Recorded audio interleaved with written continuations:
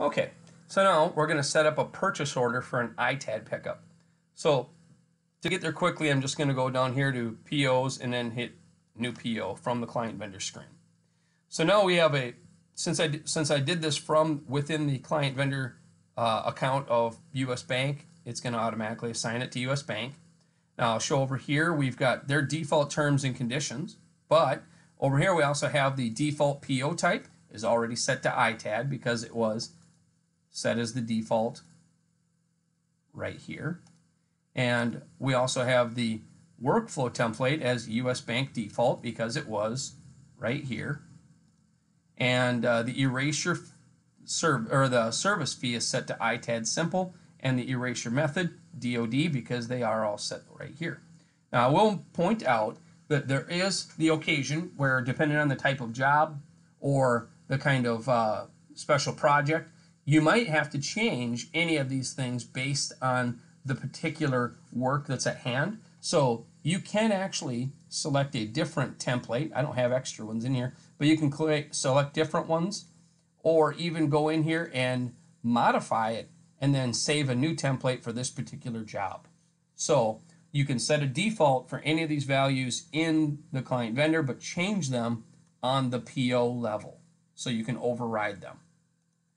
I will also point out uh, for those that are doing consignment projects, if you're doing that, um, if you want to set this up as a consignment job, all you need to do is just type in what their consignment uh, margin supplier margin percentage is right here when you create the PO, and then this will trigger the um, uh, margin that be automatically assigned to them in their consignment reports.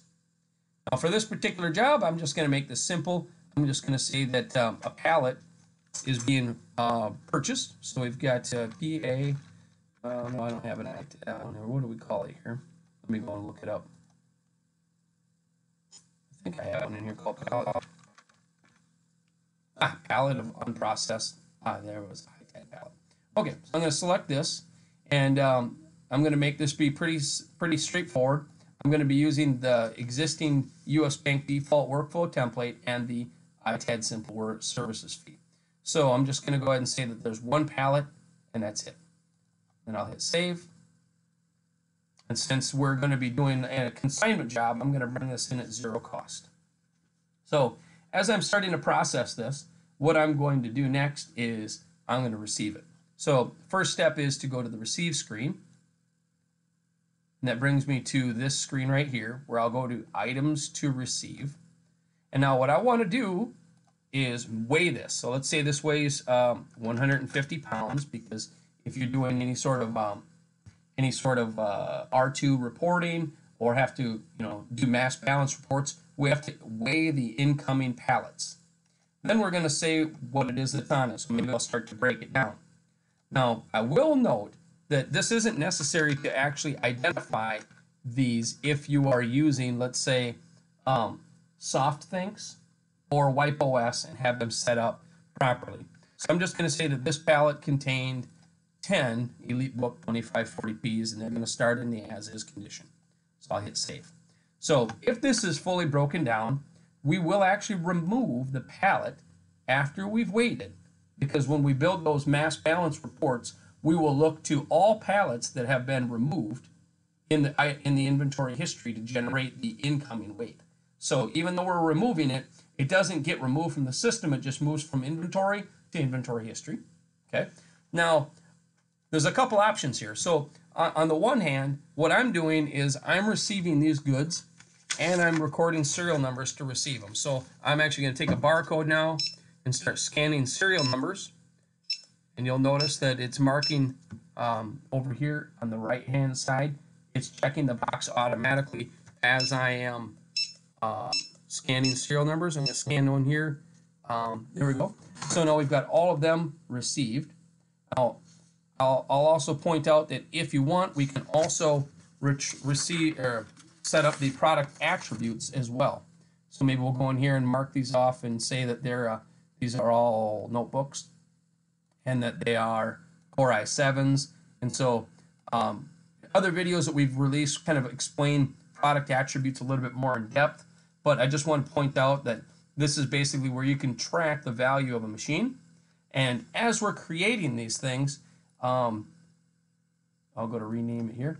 You can mark these as billable services. And actually, this one's a little bit goofy. So let's go down here to erasure um, results. So maybe we'll go down here. This is where you can you could say that these are billable services, and that's kind of how I flagged that in in the uh, previous video when we looked at the um, the billable services fee schedule. Is that you can mark either a process step like a condition code change or a value in here. So if there are many different kinds of erasure methods being performed, then you could break it down by the type that's done. But uh, we can go ahead and manually check these off. Uh, we'll say that they've all passed and um, say that they've got some wear and tear. And I'm just showing this to show that the, the uh, attributes can not only, they don't have to just be like technical specifications that you might be tracking, like, you know, the processor and the memory and the storage type like I'm doing right now, but they can also be pretty much anything you want them to be.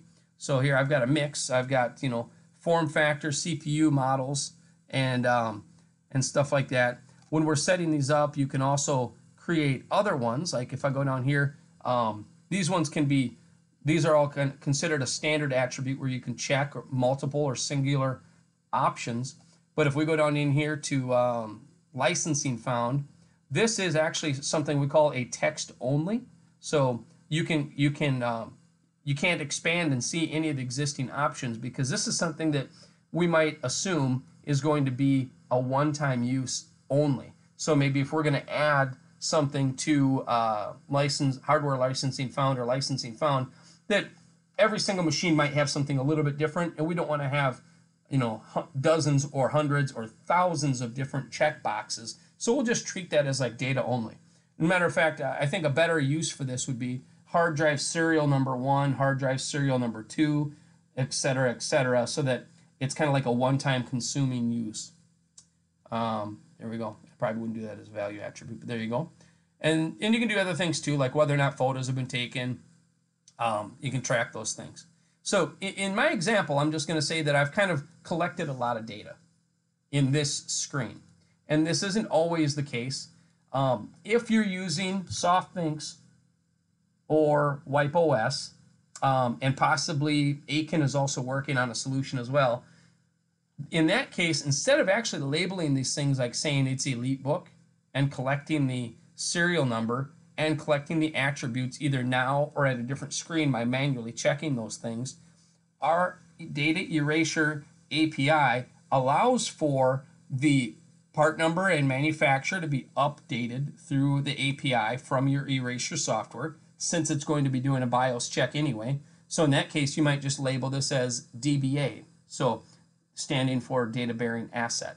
And you might leave the serial number blank because the BIOS is going to check the serial number and they can update it through the API. And also same thing with all the product attributes, even down to um, some of the things that seem a little bit less intuitive, like um, like the uh, my example here, chassis, uh, my, like chassis, display, or keyboard condition and touchpad condition. Um, it's not uncommon for WipeOS or SoftThinks to create drop-down menus that coincide with these values. So like literally all you're doing in this screen here for IQ Reseller is printing a simple label like this one here. We'll go to like a uh, two, two by one PO. So you might just call it a data bearing asset. And then when you go to print the labels, you'll print something simple that just has a barcode on it basically. And then you scan the barcode into the user defined field that's been set up for you by SoftThinks or WipeOS. And then SoftThinks or WipeOS will update your item number, serial, and so on and so forth. Otherwise, you can also set those up in here um, if that's the case. And, you know, this would be probably the case with things like monitors or uh, non-data bearing assets that you might get in. And in that case, you might actually want to go ahead and print the labels here with more data, like I shown that one that has um, 4 by 2 with attributes that puts a part number or item number here. It puts the serial number both as a barcode and a readable form. The POID, which represents the purchase order and the line item. Rep, condition code, location that it's supposed to be in, the vendor, but you can turn vendor off, description, and that actually prints your um, attributes right there on the screen. along with the barcode. That barcode represents the inventory ID. So that's the control number that IQ Reseller gives every piece of inventory that comes through the system. Otherwise, if I'm done receiving stuff here, um, I can hit receive and it will receive everything that's checked and remove everything for remove. If there's new items that I found, I could hit new item and then type in what the product is. Uh, maybe we have uh, an EliteDesk, so let's uh, let's go ahead and put an EliteDesk on there too, just a single one as is, and we'll hit save. So you, as long as this hasn't has at least some items that haven't been um, fully received yet, you can continue to, to add more items to it. Anything that's in the yellow color, by the way, we can also change here too. So you can always do that as well.